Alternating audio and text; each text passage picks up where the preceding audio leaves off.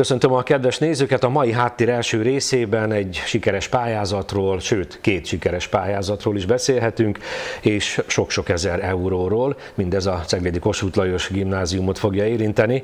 A projekt vezetője Királyi Túri Andrea és az igazgató, egyben a menedzsment tagja Gulyás Zoltán a vendégem. Szervusztok! Szervusz, üdvözlöm mindenkit! Ez azt jelenti, hogy számotokra azért a nyári szünet nem annyira a laza pihenés időszaka, csak hiszen van dolog, de hát ilyen dolgokkal foglalkozni öröm, gondolom, ugye? Igen, így van. Az előző pályázatnak még a záró beszámolóját most fejeztük be múlt héten, de ugye már az új kezdődik, és akkor van még egy harmadik akkreditációs pályázat is, amit igazgató is azt gondolt, hogy csak bele kellene vágnunk. Tehát azért van munka. Van, van. De hál' Istennek van, és érkeznek az eurók. Az első pályázatnál 44 ezer euró érkezett ide az iskolába, a másodiknál pedig 53 ezer, tehát azért ez már szignifikáns különbségnek mondható.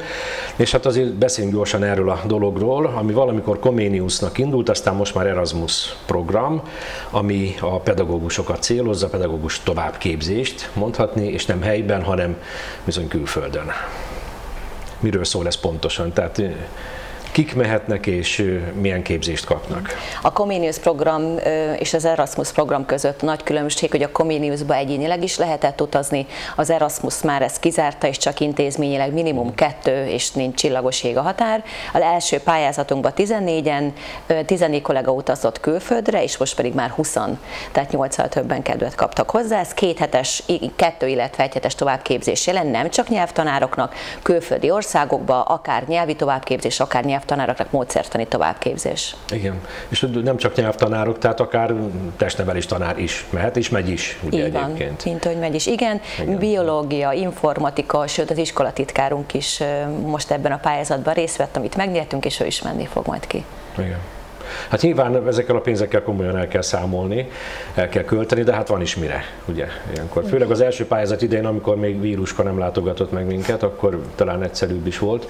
Most, hogy nagyjából az elsőnek a végén vagytok, ugye hát az összesítés beszámolót kell megírni, jók a tapasztalatok gondolom, hogyha Igen. belevágtatok a másodikba. Természetesen, ugye ezt a másodikat Erasmus 2.0-nak hívjuk bent a tanáriban.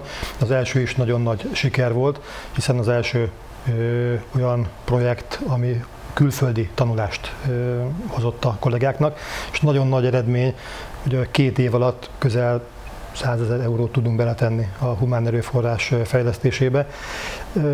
Nagyon komoly európai fejlesztési tervel indul az egész, ez egy része magának a pályázatnak.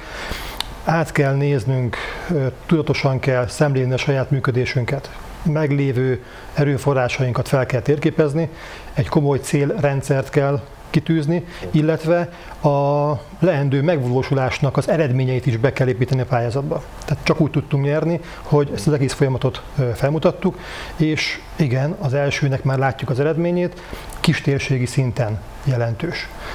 Ahogy Andrea mondta, óriási eredménynek gondolom azt, hogy nem csak a nyelvszakos kollégákról van szó. Igen, igen. Ez a jövő sőt a jelen nyelvtanítása bármelyik órán képesnek kell lenni a gyerekeknek azonnal váltani. Tehát, hogy külföldre elmegyünk, megnézünk egy történelmi órát, akkor ott a Németországban láttam angol nyelvű volt a dokumentumfilm, azonnal angolul kezdték el megbeszélni, aztán visszaváltottak németre. Aztán újra angol. Ez Igen, az. Ez az vannak van. iskolák, amelyek ugye két tannyelvűek, úgy is hirdetik, már nevükben is benne van, de ez a jövő, tehát gyakorlatilag minden képzés a, e felé halad, hogy mm. több tannyelvű legyen? Úgy fogalmaznám meg, hogy a nyelv az az eszköze most már a tudás megszerzésének. Uh-huh. Nem maga a cél, nem hanem az eszköze. Igen. Ha ezt felfogják a gyerekek, Szerintem felfogják. Biztos, hogy benne. Gyorsabban, mint mi.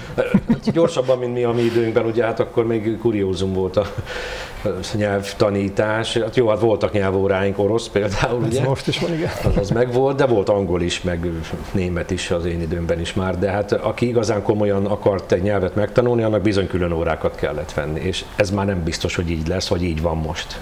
Hát nem, hál' Istennek, hmm. nincs is így, én azt gondolom, és pontosan ezen, vagyunk, hogy ne is legyen, ezért megyünk mi nyelvtanárok is nagyon sokat külföldre, módszertani hmm. továbbképzésre, pontosan ez, hogy ne gyerekeknek külön órákra járni. Mondhatnánk egy jelzővel, hogy ez egy hét országra szóló pályázat, nem lakodalom, hanem pályázat, és hát tényleg hét ország, ez több nyelvterületet jelent. Igen. Igen. Szó szerint így van. Igen.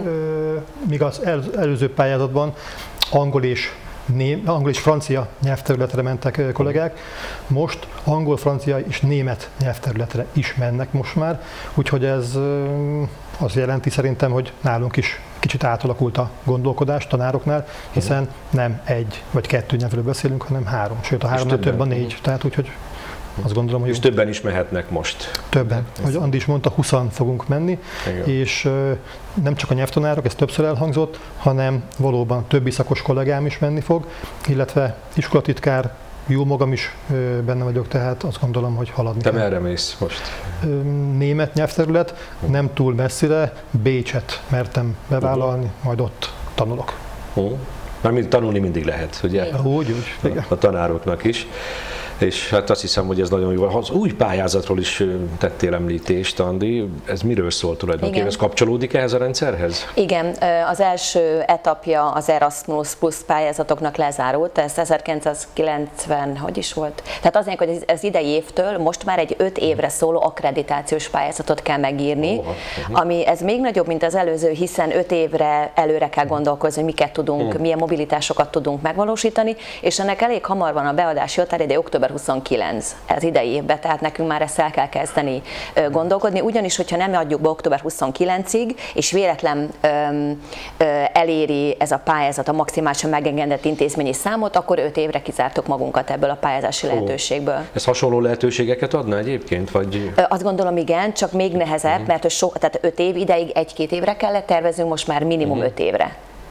Igen, tehát ez, ez, ez nehezebb, de ugyanakkor 5 évig nem kell nekünk újabb pályázatot írni. Igen. Hát nagyon jó, és azért tényleg szögezzük le, hogy nem nyaralni mennek a tanárok ilyenkor.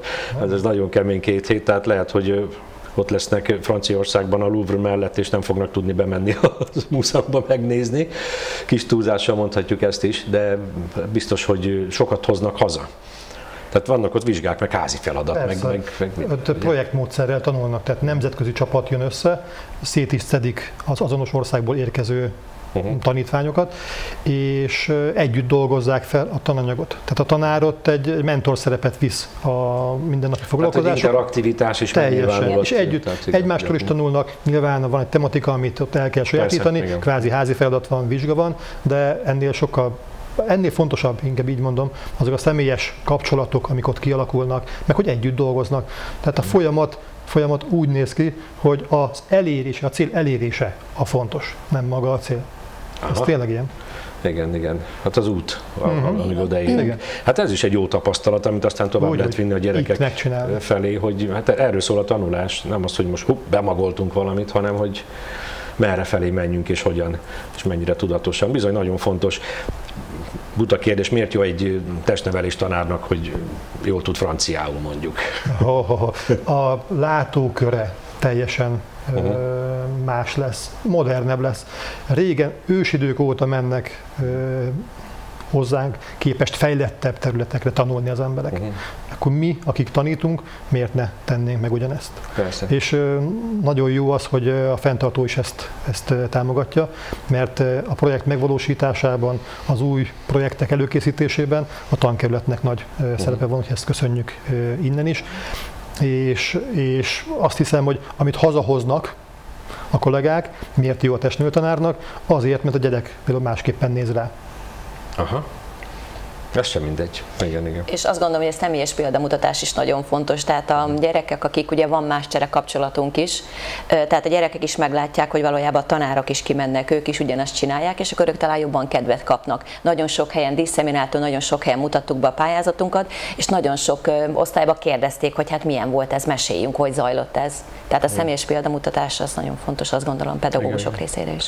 Most ez a fránya vírus helyzet mennyire kavar bele ebbe a történetbe? Tehát ugye beszélgettünk a minap, és már mondtad, hogy a B-tervnél tartunk, mert tulajdonképpen már most kint lehetnének a pedagógusok, kint lehetnétek ti is a megfelelő helyszíneken, de most egy picit ez tolódik, Igen. jövő évre gyakorlatilag. Igen. Igen. Tehát elvileg eredeti felállásba a pályázat már május 31-ével elindult volna, uh-huh. és most már számos kollega lenne kint és csinálná a tanfolyamát, de a vírushelyzet miatt lehetőséget kaptunk, hogy december 31-el indítsuk el, és akkor onnantól 12 hónap a futamidő. És akkor következő nyára, vagy a igazgató elengedi a pedagógusokat, uh-huh. és meg tudjuk oldani helyettesítést, akár tavasszal, vagy akár ősszel is egy-egy kollega ki tud menni, és akkor nem mindenkinek nyáron kell. Igen. Igen. Próbáljuk így elcsúsztatni, mert Igen. ez a vírushelyzet tehát nagyon rossz, de bízunk benne, hogy, uh-huh. hogy meg fog oldódni. Tehát, a legrosszabb, hogy kiszámíthatatlan. Igen, igen tehát, nehéz így tervezni. Ez egy nagyon nehéz tervezni, de azért hát terveztek folyamatosan, tehát a nyári szünetnek annyi, azt már látom, mert ugye ott van az új öt éves igen. pályázat, amiben azért bele kell csapni. Annak is lesz egy jó hangzatos címe, mint ennek volt? Hát majd törekszünk rá, bízunk benne. Igen, igen. mert elárulom a kedves nézőknek is, hogy ebben a pályázatban a Ceglédi Kossuth Lajos Gimnázium rövidítése a CKLG is megjelent. Milyen módon? Igen. Céltudatos közösségépítés lokálisan és globálisan. Ez lett és még van értelme címe. is. Igen. és jó is, persze. Igen, igen, igen. Hát mint hogy ennek az egésznek nyilván nagyon sok értelme van, és ennek a végső soron végül is a, a gyerekek lesznek a haszonélvezői legfőképpen, de természetesen a pedagógusok is. Nagyon örülök ennek a sikeres pályázatnak, és drukkolunk az öt évesnek is, hogy, hogy hogyan sikerül. Arról is várjuk majd a beszámolót. Nagyon szépen köszönöm, hogy eljöttetek, és ha mégis adódik egy pici lehetőség pihenésre, akkor jó pihenést még a nyáron. Köszönjük, Köszönjük szépen, szépen Köszönjük. Kedves nézők, megyünk tovább a háttérrel. A háttér második részében pedig a Magyarok Kenyere akcióról lesz szó. Egy búzagyűjtő napot rendeztek a múlt héten vasárnap Tápióbicskén. Forgatócsoportunk ott járt. A háttér második részében ennek az összefoglalóját, ennek az eseménynek az összefoglalóját láthatják majd. Én előtte elbúcsúzom. További nagyon kellemes estét mindenkinek. Viszontlátásra!